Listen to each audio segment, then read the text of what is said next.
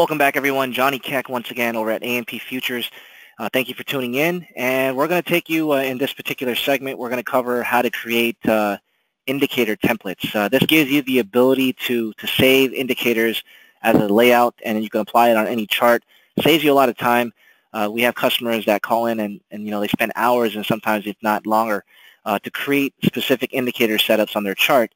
And the one thing that they don't want to do is, is go through that entire process when they have to create a new chart and, and make all those changes once again. So we're going to try to make this uh, as easy as possible for you to streamline creating templates uh, based on indicators that you'd like to use and how you'd like to make those changes and save them. So therefore, you can reapply them onto any chart that you create. All right, so let's go. Uh, let's go ahead and blow up a chart here. I'm going to maximize this chart, and uh, this is uh, the mini Nikkei chart once again that we worked off the, in the previous video. And what I'm going to do is I'm, you know, I'm not going to spend hours building a, a indicator setup. So I'm just going to add some simple indicators onto a chart, and then I'll show you the basic mechanics on how to create and save that layout so you can apply it onto any other chart. All right, so I'm just going to right-click on the chart. We've already shown you in the previous video how to add indicators, so you should already have an understanding of how to do that. So I'm going to go ahead and simply add three different indicators. I'm just going to go down the list and pick any random one. Uh, let's say ADX, for example. So I'm going to click OK. All right, we'll just pretend that we spent a lot of time, you know, figuring out what values to use, changing up the colors. But for now, I'm going to leave everything as the default state. I'm going to add the indicator. All right, you can see the indicator has been applied. Right-click on the chart once again, Insert Study. All right, then I'm going to go down the list and let's go to, let's say, MACD. Click OK. All right, we're going to go and just stick with everything as default values. We're going to click OK to add the indicator. And then we'll do one more.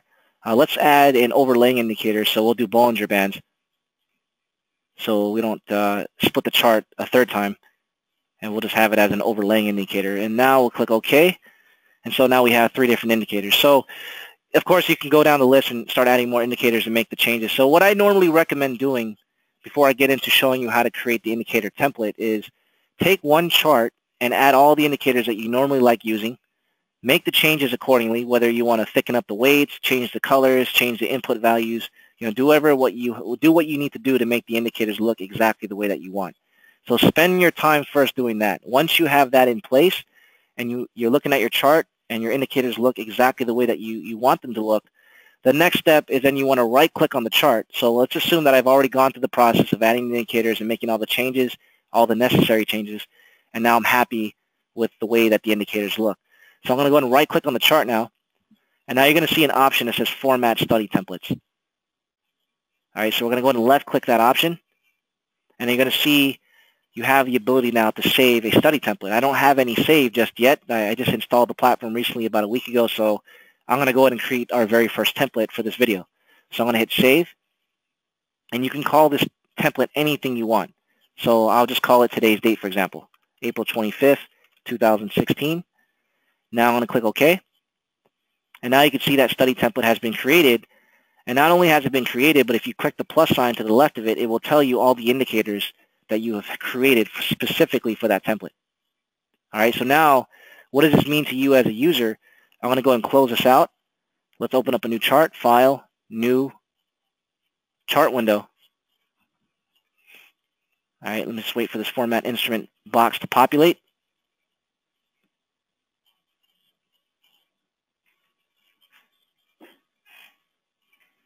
And I again apologize. I'm still running a bunch of processes on the, uh, the other monitor, so my computer is running a little slow.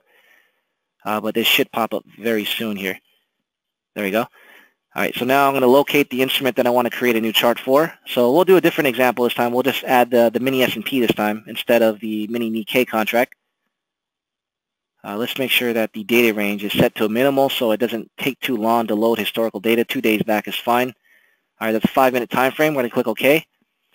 And now you're going to see the chart in a few seconds load data. Now you can see that it just loaded a regular chart, but there are no indicators. So imagine, you know, let's assume that that previous setup where I added those indicators took me a couple hours to do, and I wouldn't want to spend another two hours adding that exact setup on this specific chart. So what we're going to do now is we're going to right-click on the chart, and we're going to go to Format Study Templates, and you will see that very same template that we've already created. Now, the tricky thing is if you have multiple templates, which I can't uh, demonstrate at this moment, but I'll demonstrate in a few minutes, But uh, I'll, I'll bring that point up once we get to that section. But what you're going to want to do is you want to check the template so you can see it's checked, and you want to make sure it's highlighted. So when it's highlighted now, you can apply it, and now you can see instantaneously it's added the exact setup of what I've created from that template. All right, so that just saves you a whole lot of time going through the entire process of recreating those indicators and making those changes because you already have it saved as a template. Now, there are no limitations to how many templates you can create. You can create as many as you wish. So let's, uh, let's go ahead and remove the indicators off this chart real quick. Right-click, remove all studies, hit yes. Okay, I'm going to go and right-click on the chart. And let's add a, a few more studies. And we're going to pick different indicators that we didn't use in the last example. So let's say, uh, let's see here, we'll go down the list. Uh, let's do Keltner channel. We'll add that one. All right, so that's there, and then we'll add we'll just add one more. Insert study, and let's just do a regular volume indicator. Yeah, which is right there. All right, I'm going to add that on there. All right, so now we have a volume indicator. Now if I right-click on the chart, once I have the indicators applied, which I do, I'm going to format study templates. And now we're going to save it. We're going to call this something else. So we'll call this example 2. All right, we're going to click OK.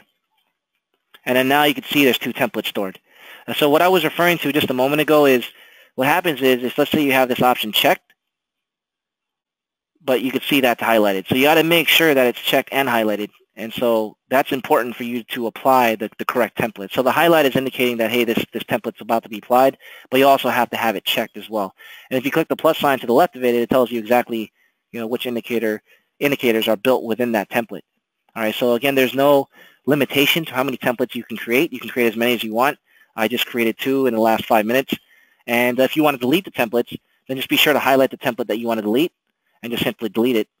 And it'll ask you, sure you want to delete the study template? Yes. And now it's gone. And that's a, a, quick video on how to create study templates. Very important, very efficient, uh, very important to understand how to do this. Otherwise, uh, you're going to spend a lot of time creating all those indicators on every chart that you create. And not an ideal way to use the platform. So it's best, in my opinion, to use the study templates to save you a lot of time. Other than that, guys, thank you for your time. We'll see you in the next video.